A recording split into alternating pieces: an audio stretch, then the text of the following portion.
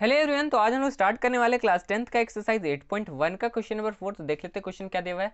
Given 15 cot A is equal to 8 है ना? 15 cot ए 8 दिया हुआ है और find sine A and sec A यही दोनों हमको फाइंड करना है।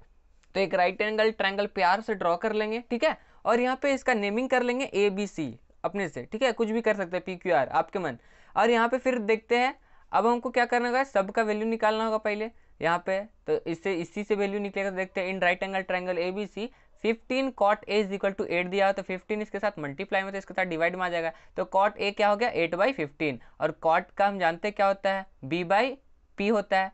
तो ए बोल रहा है ए के सामने वाला क्या हो जाएगा? ये परपेंडिकुलर हो जाएगा, और ये बेस हो जाएगा, और हो जाएगा। तो बी बोल रहा है बे बी बी क्या है? ए बी ए बी ले लिया है, ठीक है? बी जो कि क्या है? एट और पी जो बोल रहा है, इसके केस में ये पी हो जाएगा। ठीक है तो बी सी यहाँ पे लिख दिया है। तो बी सी कितना दिया फिफ्टीन दिया हुआ है ना? तो A B is equal to eight हो जाएगा और A B is equal to ये एट हो जाएगा और ये वाला फिफ्टीन हो जाएगा।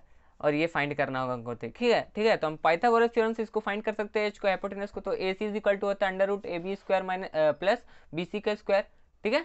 बड़ा वाला टर्म बड़ा वाला लेंथ फाइंड कर रहे हैं ए सी हाइपोटेनस है ना?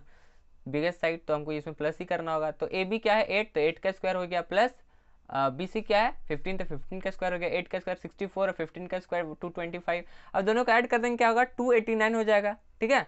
अब ये दोनों को हम क्या कर टू एटी नाइन किसका स्क्वायर है? हम जानते हैं सेवनटीन का, है ना? तो सेवनटीन टू सेवनटीन हो जाता है टू एटी नाइन तो सेवनटीन बाहर उठता है तो ये हो जाएगा। तो ए सी का वैल्यू यहाँ पे हमको क्या मिल गया? सेवनटीन मिल गया। अब इसी से हम इसको फाइंड करेंगे। तो क्वेश्चन क्या हो रहा है? साइन ए से के फाइंड करने बोल रहा है। ठीक है? तो sine A is equal to देख लेंगे। क्या है? पी बाई एच तो पी क्या दिया हुआ है साइन ए के लिए? साइन ए अगर इसको कंसीडर करेंगे तो इसके सामने मतलब पी हो जाएगा तो पी हो गया फिफ्टीन और एच मतलब कि ये लॉन्गेस्ट साइड वाला है ना तो यहाँ पे ए हो जाएगा क्या? यहाँ से सेवनटीन फाइड किया ना मतलब कि ये सेवनटीन है तो एच यहाँ पे सेवनटीन हो जाएगा। अब क्या बोल रहा है? सेक ए सेक ए होता है एच बाई बी है ना? तो एच क्या दिया हुआ है? लॉन्गेस्ट साइड सेवनटीन निकाले तो यहाँ पे सेवनटीन हो जाएगा। और बी मतलब इसके सामने वाला परपेंडिकुलर और ये बेस, है ना? तो ये एट हो जाएगा यहाँ पे। तो ये था ये दोनों था आंसर है ना? तो ये था आज का हमारा question number four of exercise eight point one तो मिलते हैं नेक्स्ट एक्सरसाइज के साथ, तब तक के लिए टेक केयर